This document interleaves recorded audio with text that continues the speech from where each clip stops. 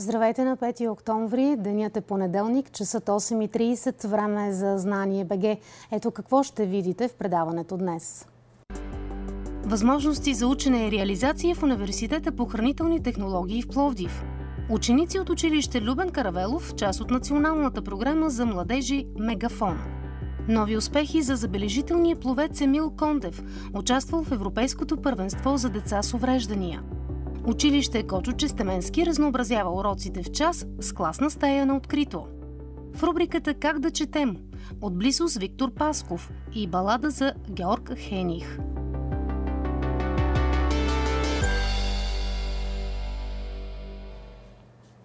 Доцент доктор Христо Спасов е вече при нас, заместник ректор на Университета по хранителни технологии в Пловдив. Здравейте, добре дошли. Здравейте, благодаря за поканата да гостувам във вашето предаване.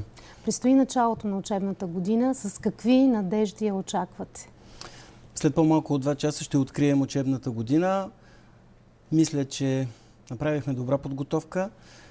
Очакваме с и напрежение, и с надежда старта на учебната година. Тя започва в не много лесна ситуация в няколко направления. Основно е свързано с COVID обстановката, но считам, че решенията, които направихме и организацията, която създадахме, ще ни създаде възможност да организираме учебния процес малко по-добре и с по-висока степен на присъственост, отколкото беше предишния семестър. Иначе сумарно какво? Университета можем да го наречем дори смарт университет, заради тези бързи крачки, които се наложи а, да проходим.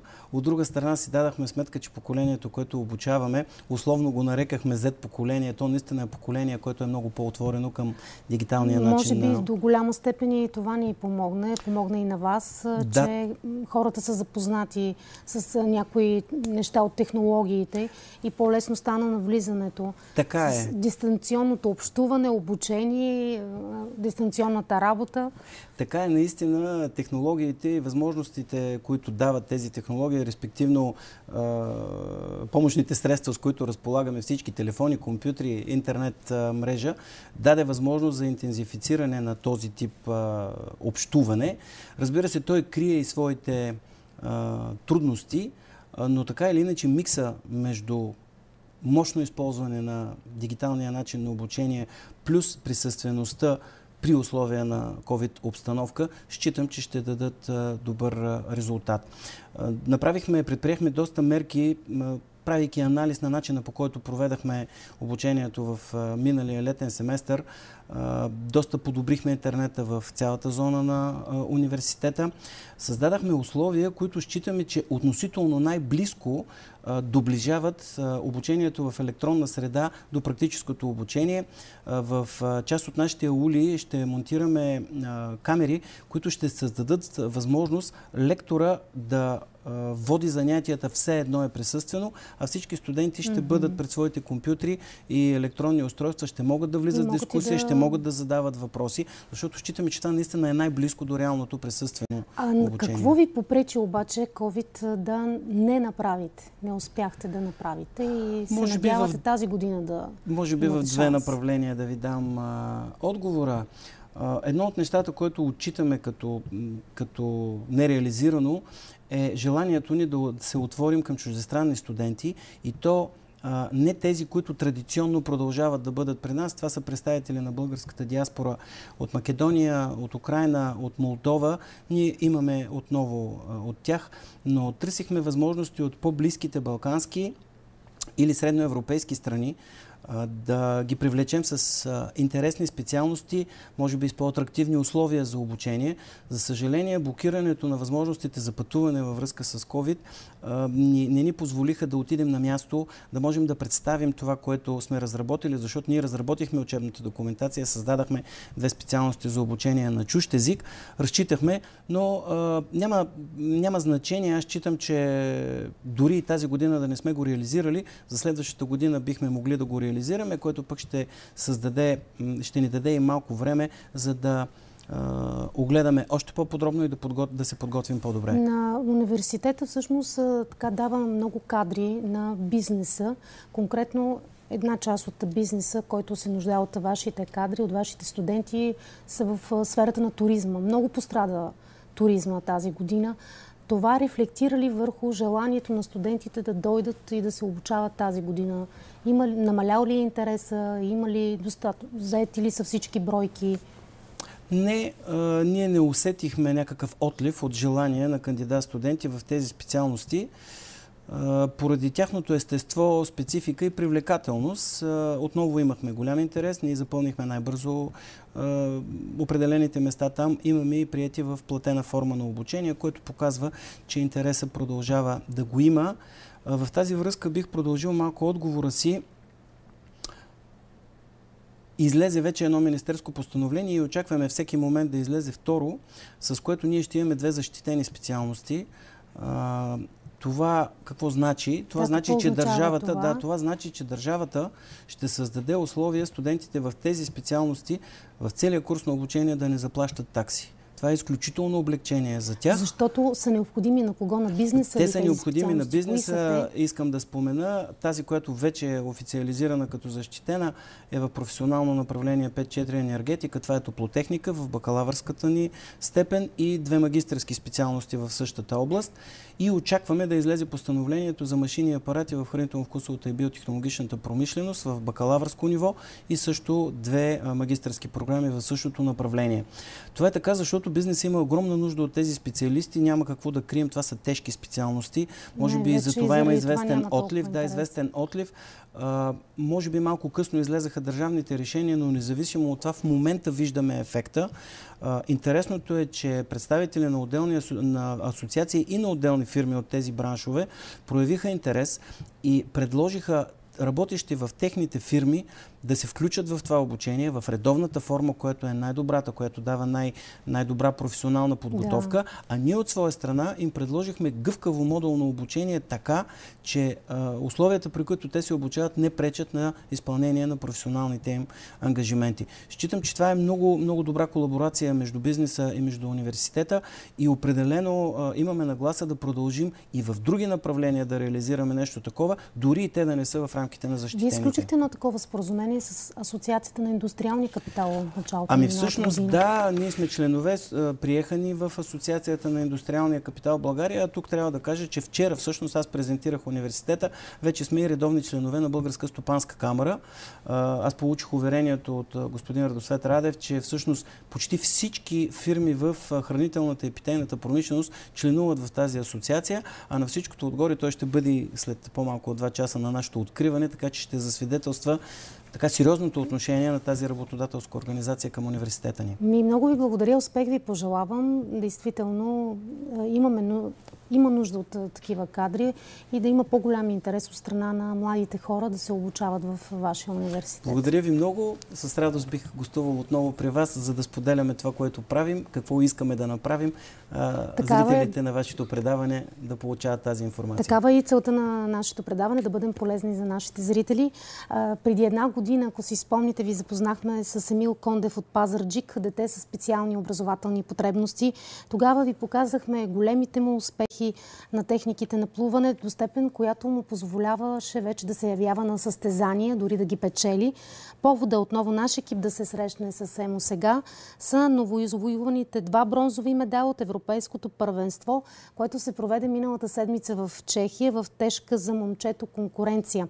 Всичко това след изключително сериозни тренировки. За пет години усилена работа и интензивни тренировки Емо бележи своя напредък с малки, но сигурни стъпки.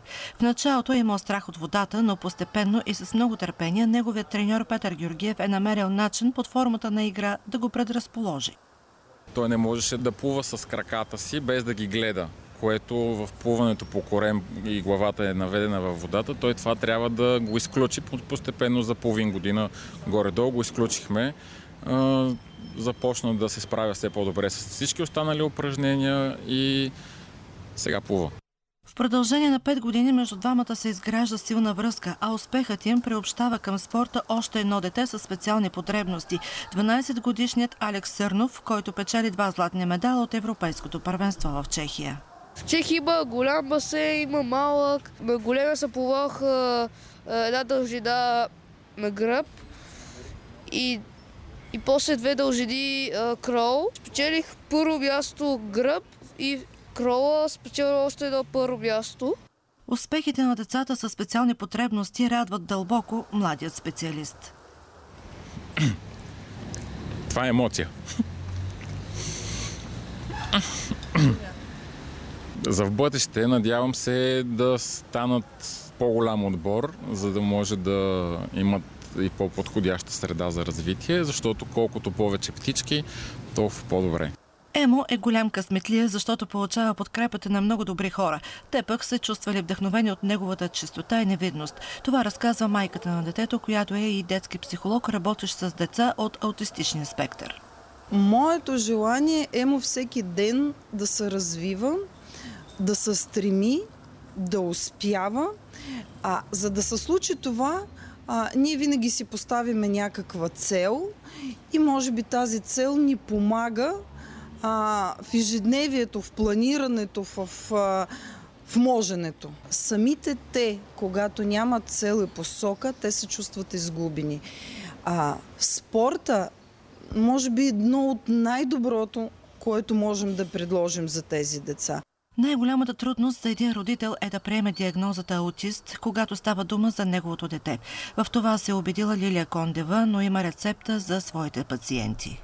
Често в консултациите си казвам, прибери се вкъщи, нареви се днес, а утре отвори си очите, започни да обичаш себе си, започни да обичаш детето си и да обичаш хората преди всичко и тогава всичко ще се нареди. От две години Емо е ученик на спортното училище в Пазарджик, а специалните грижи за дете като него са сериозно предизвикателство пред ръководството не крият родителите му. Те обаче подпомагат много спортните педагози, за да може момчето да продължи образованието си. Така и да преследва своите по-високи цели, като участие в Олимпиада. Нещо, което става все по-достижимо за Емил Кондев.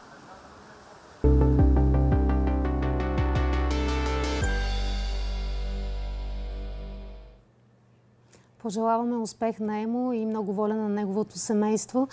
Александра Хаджиева и Аделина Налбантова от училище Любен Каравелов, част от Националната програма за младежи Мегафон, вече са при нас в студиото на Знание БГ. А с тях е и техния преподавател Георги Стоев, учителя, който е подготвил двете ученички. Господин Стоев, към вас първо какво представлява тази програма Мегафон и какво породи интереса към нея от ваша страна? Здравейте на вас и на вашите зрители. Всъщност, програма Мегафон е една от многото програми на, национал, на националната младежка на, на националната младежка програма, която всъщност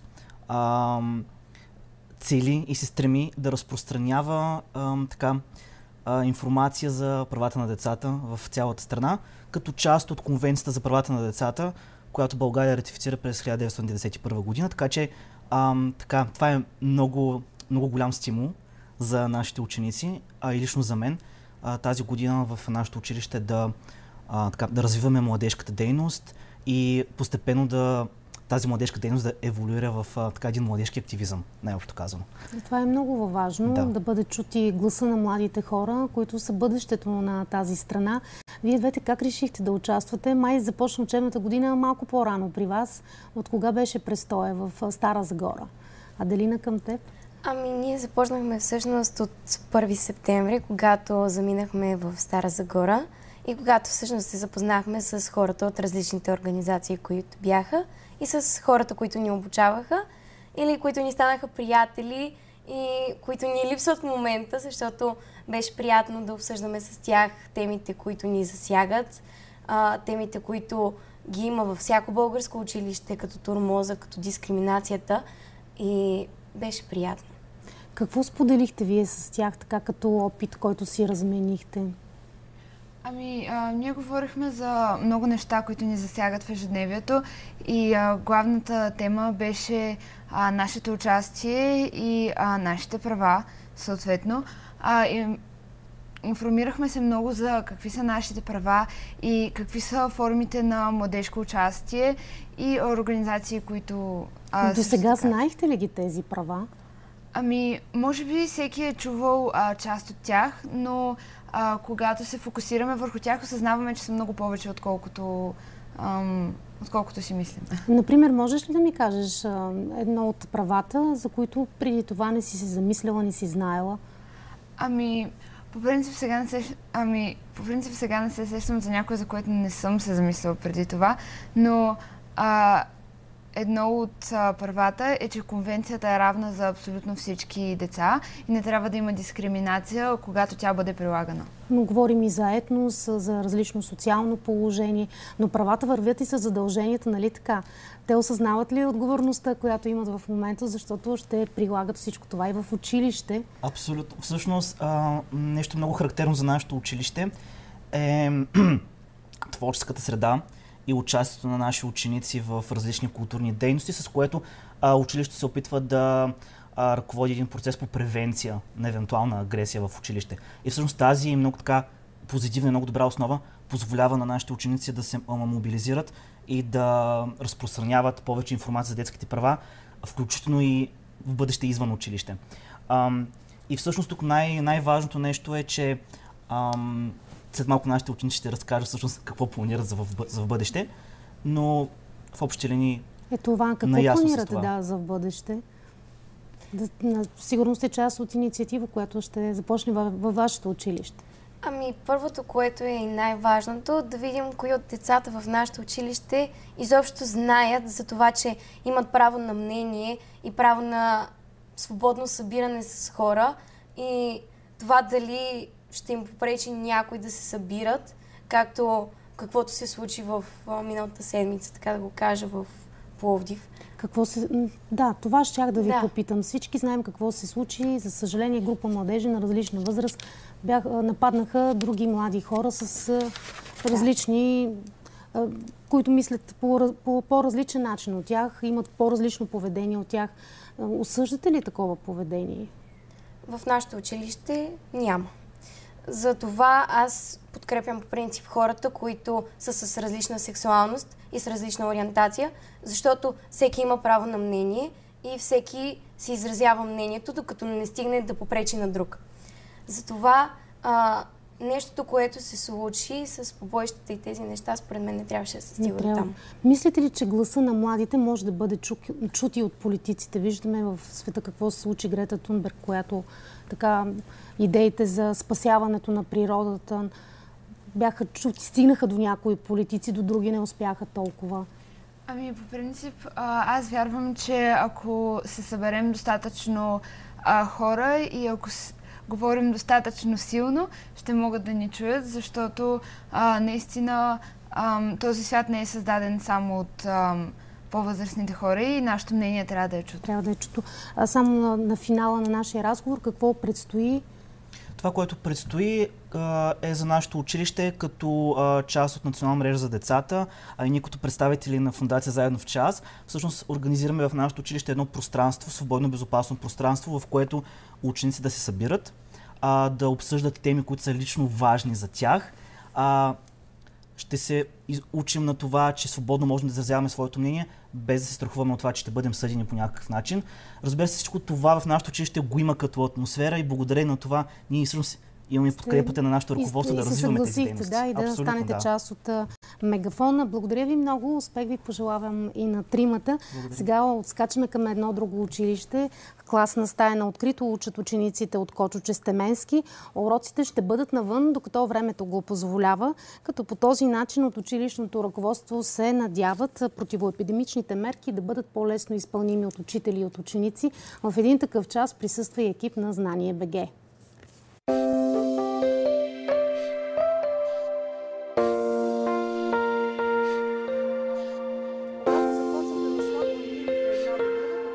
Второкласниците на госпожа Марина Бойчева този път като истински художници ще рисуват навън. Ето, например, добавям с едно движение в една посока, започвам да поставям линийки една до друга. Ето, че получих петно. Трудно ли е? Не. Класната стая е създадена по проект на училището преди няколко години. Заради мерките срещу разпространението на коронавируса обаче, интересът да се преподава на открито расте.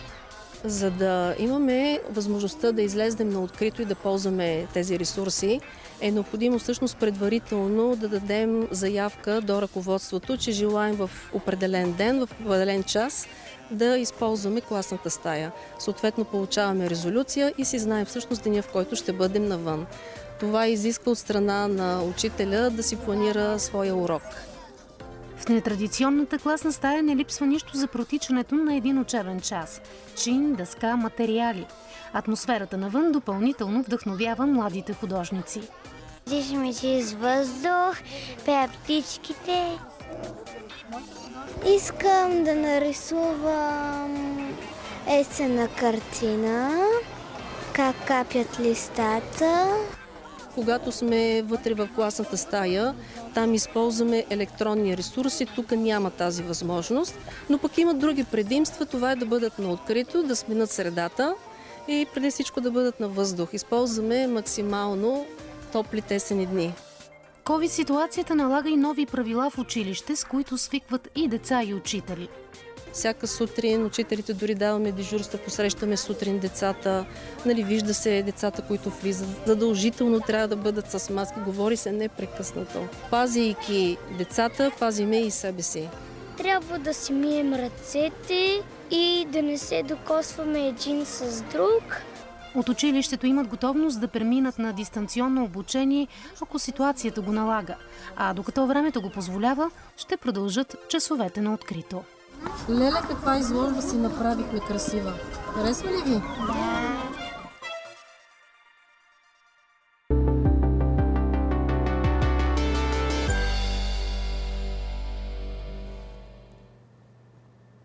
Има книги, които те оставят без дъх, има и други, които те оставят без думи.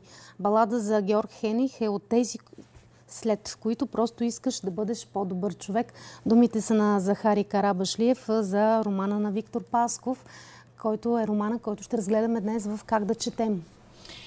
А, роден в края на 1987 година е този, всъщност е повест, може би да, да, да кажем. Публикувана е първо списание Съвременник, после като отделна книжка.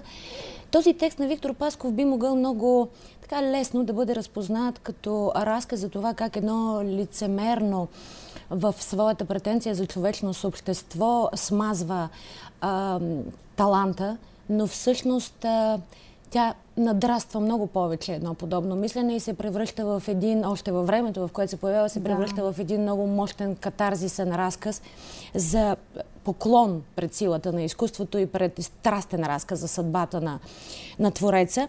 Героят на това творение Георг Хених е чешки майстор на цигулки, който пристига в България през 1910 година, слиза с възторг и любопитство на Софийската гара, остава в България и създава лютиерската школа. Времето на повестта обаче, което е измоделирано през детския спомен на детето Виктор, го улавя 40 години по-късно, в десетилетието на 50-те, когато той а, угасва в а, а, така мизерията на самотата и нищетата си в едно софийско мазе на улица Волов, без дори документ, който да дока... може да докаже неговата самоличност. Наследил единствено инструментите от своя баща, с които не просто е владял занаята, но е освоил способността да създаваш изкуство в и чрез а, любов. А, той владее не просто тънкостите на това да правиш нещо толкова трудно, като това да изработиш музикален инструмент, но да узнаваш, да разбираш, да усещаш света, а, да разговаряш с него а, и с човеците, които го обитават, да се вслушваш в музиката на човешката душа и всичко това е съпроводено с много благородство, с много милосърдие, с много усещане за милост, с много любов, с много разбиране. Разбира се, в тези страници и поради тази причина ние дочуваме други класически текстове а, на, от българската и не само от българската литература и а, родената в края на 80-те години повест на Виктор Пасков а, излъчва не единствено и не само Йовков през размисъла за съдбата на Твореца в а, хоризонта на изкуството. А, през съдбата на Георг Хених обаче а, това място, което се превръща в негова втора родина, показва едно изключително уродливо а, лице за този а, бутафорен декор на една действителност и на една идеологическа ситуация, която непрекъснато настоява на това, че строи и създава, всъщност се рушат ценности. Рушат се ценности, хората живеят в а, а, мизерия, в недоимък, в а, а, така, а, скотско, скотско снизяване до, до живеенето ден за ден. А, това са празните сърца на едни хора, които не могат да създадат смисъл и свят. А там, където няма смисъл и свят, няма нужда и от майстор, няма нужда от творец. Той се оказва излишен, оказва се анахроничен. И ако празните сърца не могат да създадат този хуманен смисъл, дори чистите в своите основания пориви някак сгрешават своите пътища, някак могат да родят единствено и само безполезни и мъртви творения. При цялата си безпощадност обаче балада за Георг Хених отпечатва в съзнанието на читателя не сриването в кълта на унизената човечност, а просветляващото политане. Защото с последните си земни и човешки сили лютиерът е, Георг Хених успява да сътвори един невероятен инструмент, виола да море. Това е цигулката на любовта, която което той обрича на Господ, която заявява, че ще вземе със себе си в смъртта си, ще пренесе със себе си в смъртта си ще я подари на Господ, за да свири Господ на нея. Мисля си, че съвсем не случайно филмовата екранизация да. по тази повест избира това молитвено настояване за заглавие Ти, който си на небето и така баладното, подчертава баладното, което очертава и пътя на майстора към небето и просветлява този възторжен разказ, възпяващ разказ за славата на изкуството и безсмъртието на Твореца. Много ти благодаря. Това беше разказа за балада за Георг Хених. А ние така се разделяме. Понеделник е начало на новата седмица. Успешно да е тя за вас и хубав ден от екипа на Знание БГ.